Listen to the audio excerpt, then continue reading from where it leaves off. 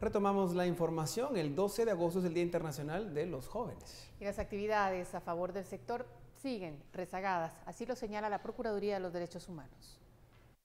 El 55.5% de los 17 millones de guatemaltecos son jóvenes y los avances de las políticas aprobadas e implementadas hace cuatro años siguen escasas, según el resultado de la vigilancia durante dos años de la Procuraduría de los Derechos Humanos. La falta de coordinación entre las diferentes instituciones, eh, no hay criterios de selección de los beneficiarios eh, y en alguna medida también en el ámbito más local en los municipios no se logra establecer una coordinación para que realmente se impacte en la vida de, de las y los adolescentes y jóvenes. Recomiendan que se pare la implementación de la política pública, que se haga una evaluación de medio término y reorientar la implementación de los diferentes programas. Una de las debilidades que hemos encontrado también es el que no se ha estado haciendo el reporte en el clasificador presupuestario, que este es emitido precisamente dentro del marco de la, de la ley de presupuesto, en donde se debería de remitir toda la información de lo que se está invirtiendo en materia de juventud. Los jóvenes trabajadores en el área rural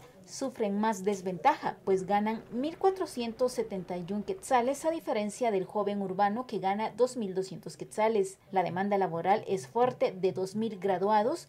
Al año solo el 10% logran conseguir un empleo.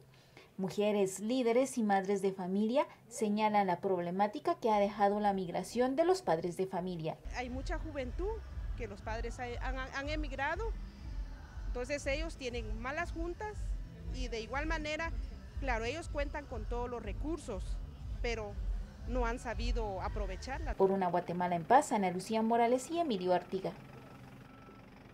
El Ministerio Público reconoce y promueve la reforma constitucional para garantizar la pluriculturalidad judicial, lo que permitiría facilitar el acceso a la justicia a los pueblos indígenas sin discriminación.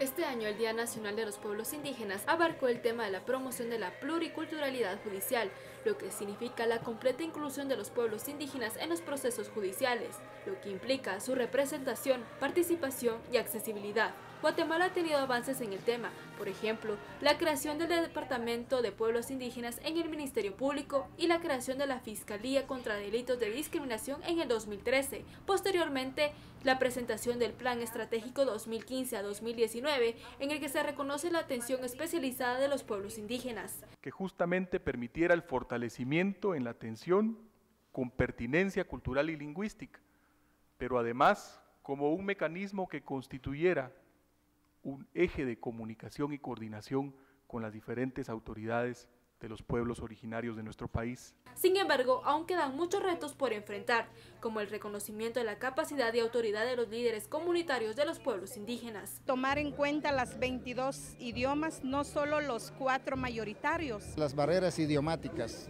Sí. Nuestro pueblo no tiene acceso así de fácil porque no, domina, no dominan el segundo idioma que es el castellano. Para lograr la pluriculturalidad judicial, actualmente se está trabajando en la reforma constitucional, en la cual estará incluido el sistema judicial utilizado por los pueblos indígenas basado en su cosmovisión. El pluralismo jurídico no se va a dar hasta cuando se firmen documentos de la reforma constitucional. Para ello se están llevando a cabo espacios de diálogo con autoridades indígenas, iniciando en Chichicastenango. Por una Guatemala en paz, Ana Lucía Castillo y Juan Carlos Pérez.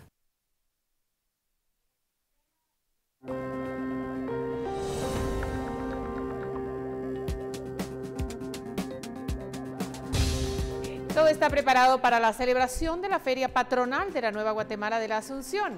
Regresamos.